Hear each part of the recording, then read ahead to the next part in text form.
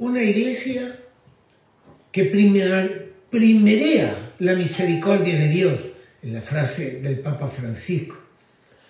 Ese pueblo que encarna la fe haciendo la cultura, que se expresa sobre todo como religiosidad popular, lleva a la coparticipación y a la corresponsabilidad en las comunidades cristianas y en la acción evangelizadora.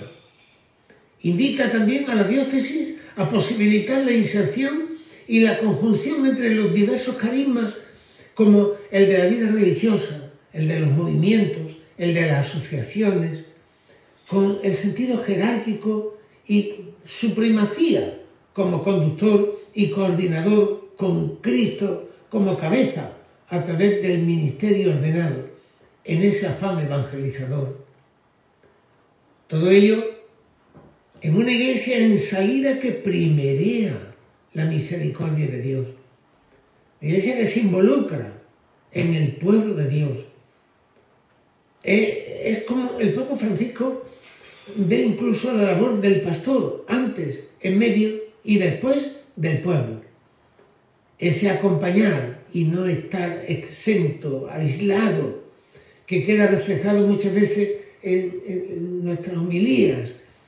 En ellas se ve la conexión y la sensibilidad del pastor con las realidades concretas, reales e históricas que nuestro pueblo está viviendo.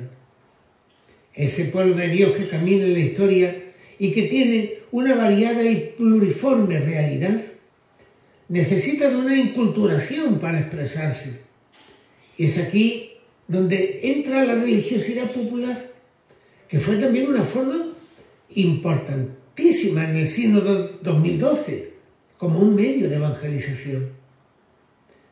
La religiosidad popular tiene, por tanto, un elemento de pueblo santo de Dios y otro elemento de religación y sentido de la fe como referencia en una sociedad secularizada como la nuestra, que si se hubiera perdido, pues tendríamos que recuperar.